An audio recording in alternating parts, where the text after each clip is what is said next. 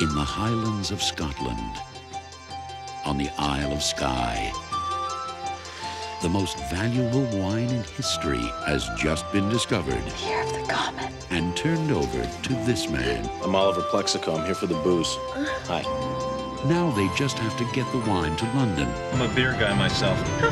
What a surprise. and avoid a few minor obstacles along the way. Ma, may I kill them? What's a mother to do?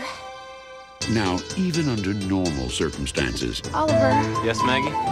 starting a new romance can be difficult. Oliver, they stole the wine! I know! I was right here! Oliver,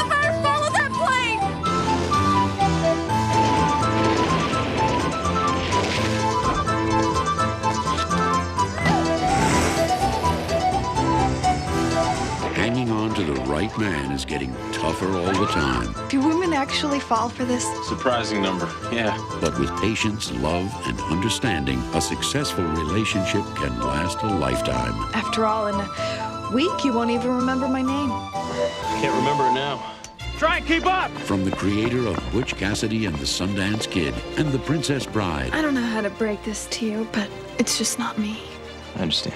comes a comedy about romance and other perilous adventures. Hmm. Year of the Comet. I changed my mind. Okay.